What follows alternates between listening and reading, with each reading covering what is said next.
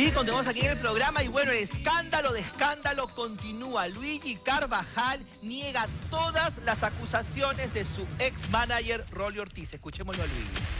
Luigi Carvajal se mantiene en sus 13 y es que el cantante salió a defenderse de las declaraciones de su ex productor, Rolly Ortiz, quien lo señala a él y a sus compañeros de mal agradecido. De que Ricky, o sea, el que me estaba ofreciendo que me iban a pagar, me entero que él lo había registrado el nombre de escándalo a su nombre. Entonces, como te digo, para mí eso es una bajeza, ¿no? Me dieron la oportunidad alguna vez, pero en el camino uno empieza también a desarrollarse y a aprender y a estudiar, ¿no? Y es lo que he venido haciendo durante todo el tiempo, ¿no? Tengo 25 años también metido en esto y he podido escalar haciendo una que otra cosa, ¿no? Mira, si hubiese ganado lo que él decía, este, yo en realidad pues tendría una casa pues en la casuarina, de repente una casa en la playa, un Porsche, y las cosas en realidad no, no han sido así, ¿no?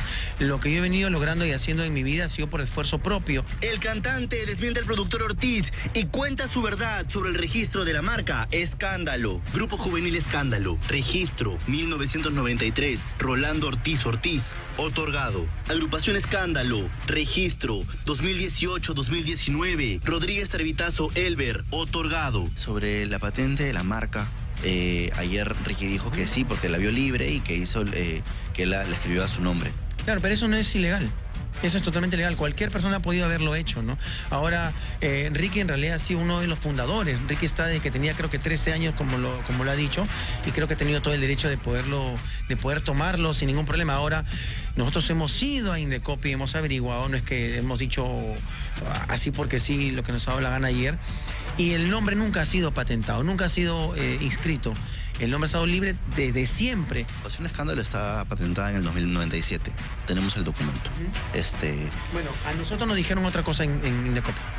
Entonces, nosotros hemos dicho, hemos dado una versión a lo que nos dijeron allá en Indecopy. No, porque no somos locos y no, le hemos dicho. ¿no? no, le, no lo llamaron a decirle, oye, eso está libre, lo vamos a patentar y cuando tú vengas es tuyo o, no tuvieron como, como ese detalle. O sea, yo sé que estaba libre, que cualquier persona lo puede haber hecho, yo lo puedo haber hecho, pero no, no tuvieron como este lado como de comunicación hacia él.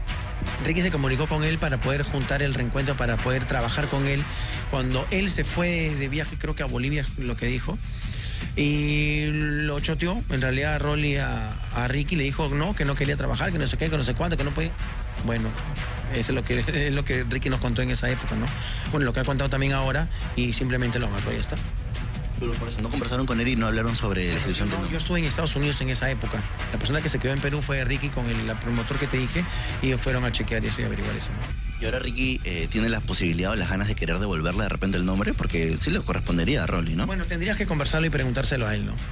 Pero por- porque en realidad este, está sentado con él, al nombre de él y de otra persona más. Nos parece que aquí algo no cuadra, pero Luigi sigue hablando y ahora responde sobre las acusaciones de violencia que pesan sobre Ricky Trevitazo. ¿Una vez fue agresivo contigo en el grupo o ves algún tipo de agresión? Yo no, he, vi- yo no he visto eso. Ricky, mira, Ricky es una persona en realidad así, es temperamental. Toda la vida lo ha sido así.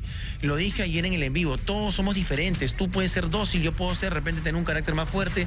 Él puede ser un poco más amargado. Todos tenemos carácter diferentes. Entonces no podemos juzgar el carácter de las personas. Nunca ha llegado a las manos, o sea. Yo con Luis sí, yo con el chato Luis sí, ¿ah? una vez para, nos peleamos y de ahí nos amistamos porque somos amigos, somos hermanos de toda la vida. Y el día de hoy, hoy, en día yo con Ricky también discuto. Y por ahí que nos, hemos metido de repente un lap, una- algo así, pero somos, finalmente somos amigos, nos, nos peleamos un día, dos días y nos volvemos a amistar. Porque es así. Los hermanos nos peleamos, discutimos y así, pero finalmente somos familia. Mira, yo no, no veo posibilidad alguna de, conciliación porque él si está mandando una cosa, otra cosa y, dice cosas en contra de nosotros, en realidad a mí no me parece que quiera conciliar o decir algo, ¿no? Entonces habría que chequear bien ¿Qué quiere conciliar? Yo soy una persona contra pacífica. No me gusta en realidad en- entrar en este tipo de situaciones. Si verán, no me gusta pelear con las personas. Es más, como verán, yo fui a, conversar con él, yo obligué de alguna forma a Ricky y a Luis a ir a hablar con él, a verlo cómo estaba su situación este, de salud, la pasaba mal. Fuimos a verlo, estábamos en un ensayo y le dije, chicos, vamos a verlo, vamos a saludarlo. Creo que se merece porque hay que ser, agradecidos en la vida, porque él nos dio la oportunidad alguna vez de estar de repente donde estamos el día de hoy. Entonces fuimos a verlo y vimos que estaba mal este, y lo saludamos con cariño. Ya después, a los días siguientes, empezó a decir cosas que en realidad ah, fueron fuera de lugar. Totalmente. Van a seguir cantando las canciones de escándalo. Sí, yo soy intérprete de una de las canciones. Ricky es intérprete de las canciones. Entonces, ¿por qué no cantar las canciones que yo he cantado? O sea, tal cual. Es como que le digas, no sé, de repente, este, algún cantante, ejemplo de, del gran combo, eh, como Charlie Aponte, que no pueda cantar las canciones que él interpretaba, que grabó en su voz. Me parece injusto que cante las canciones que él grabó. Verdades y entredichos que parecen no tener solución. Siempre hay dos partes, la parte de la que dijo él y la que hemos dicho nosotros. ¿no? ¿Cuál es la verdad? La verdad es que la que digo yo.